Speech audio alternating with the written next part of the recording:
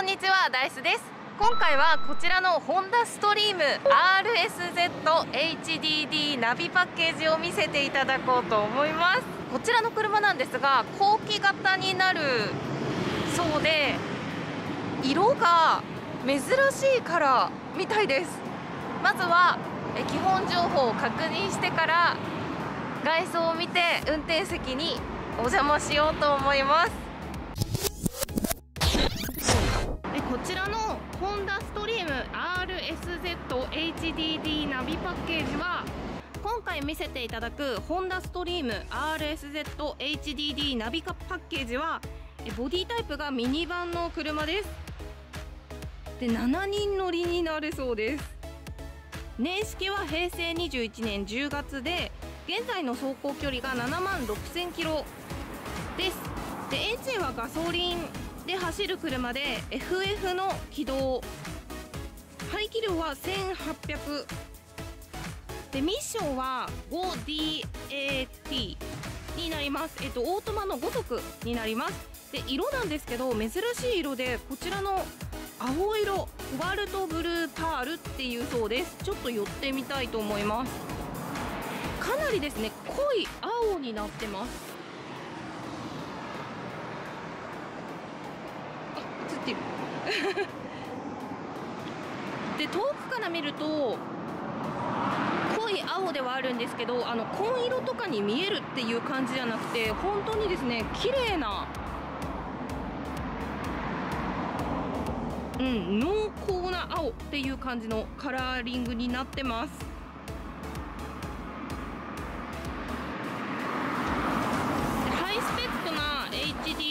とあとねバックカメラがついてるそうです。こちらが正面になります。じゃぐるっと回ってみたいと思います。サイドから見るとこんな感じででアルミもホンダのマークが入ってるアルミです。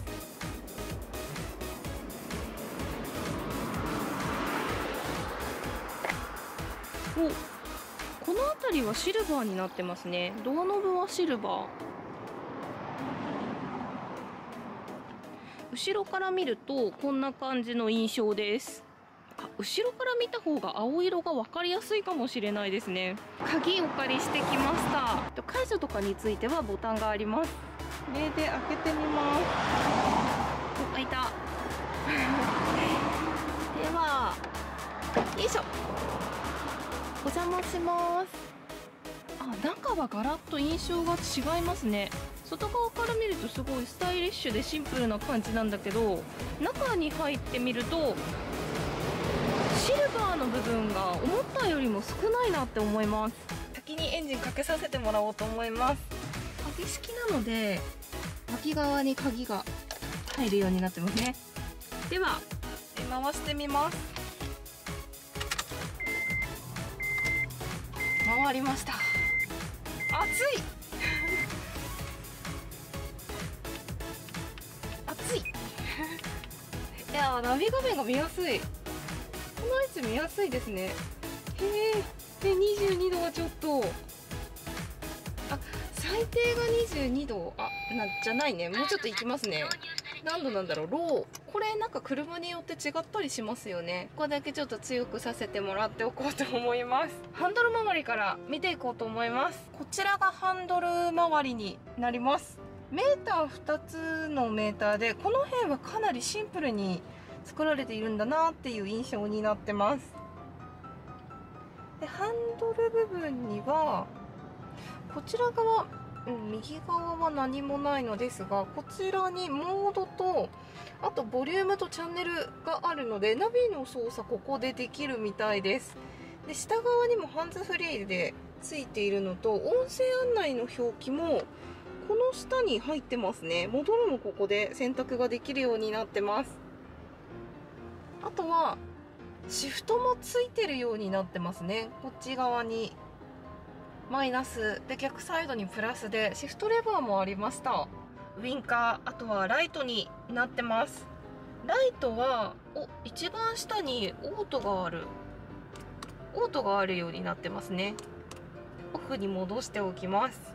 メーター部は広々したタコメーターがついていて中央部にあの P のマークがあるんですけどその横側見に見やすいか。あ見えますね。左側にうっすらと表示が出るんだなっていうのが分かるようになってます。ウィンカー系はこの上側にありますね。でドア側にはミラーの部分がしまうボタンがあるんですけどこの横であ LR を動かしてで1かを動かすっていう感じです。なんかびっくりしました。ミラーって片方ずつ選んで閉められるんだっけってちょっと思ったんですけど違いますね。こんな感じになってます。あと全体的に鍵をかけるのは1箇所で分かりやすくなってるなと思います。では次。中央ナビ部分も見ていこうと思います。中央部はかなりシンプルな作りでハザードマークがあって上側のこれがここの中が閉まったり開いたりが見えるようになってるのでこれでエアコン口の操作ができるみたいです。これは手なんだね。なるほど。今回見せてもらっている車が HGD ナビのパッケージなのでこれが、えっと、メーカー純正のナビになります。下側全部が漢字表記なんでこの辺り見やすいなと思います。メニューボタンはこんな感じですね。ホンダナビと一緒だよね。ホンダナビなんでホンダのナビってあのインターナビ情報とかって出るようになってますよね。あタッチパネルになってる。それだけちょっと確認しちゃいました。これはなんだろう。あ DVD も見れるようになってる。ようです。ビデオインプットと 12V 電源取れるようになってます。こちら開けるとこんな感じで3本ラインを入れるようになってるのでここからなんか取れたりするんじゃないかなと思います。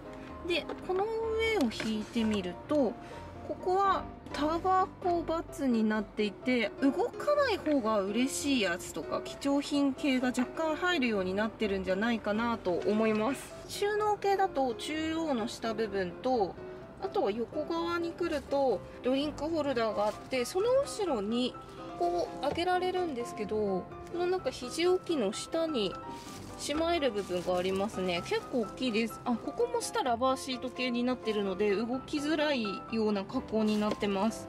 ちょっとここにもあのスペースがありますね。シートはこんな感じの印象です。素材2つでシートが組まれてますね。真ん中はメッシュ系で触るとサラサラしてる感じのシートです。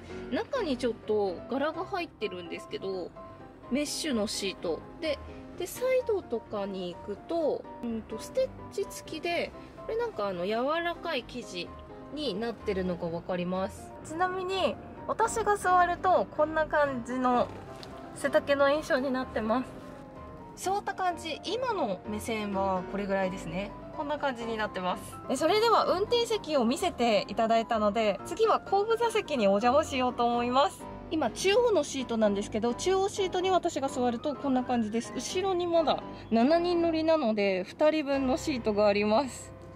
で中央部の真ん中こちらに肘置き兼何かがありそうなのでちょっと倒してみたいと思います。ここに紐がある。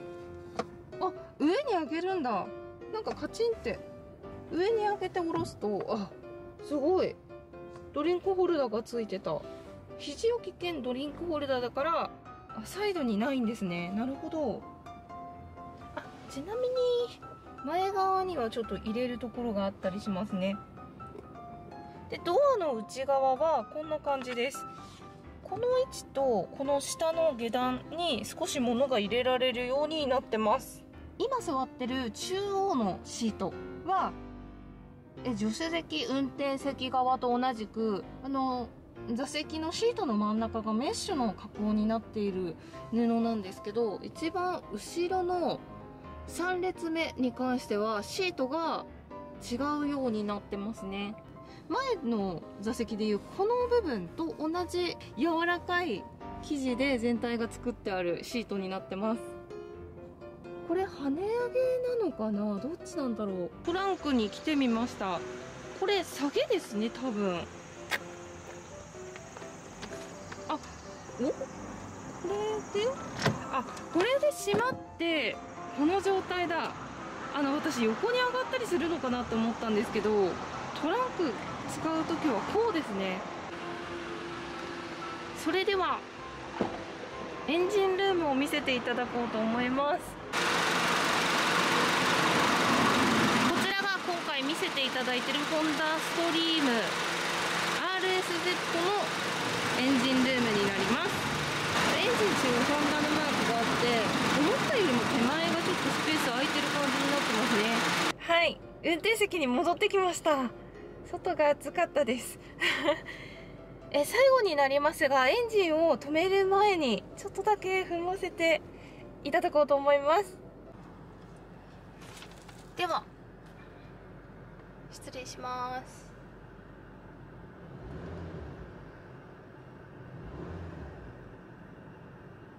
軽く踏みました。これぐらいな感じです。ありがとうございました。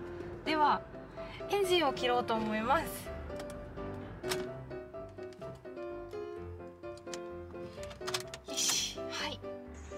ということで今回はこちらのホンダストリーム RSZHDD ナビパッケージを見せていただきました。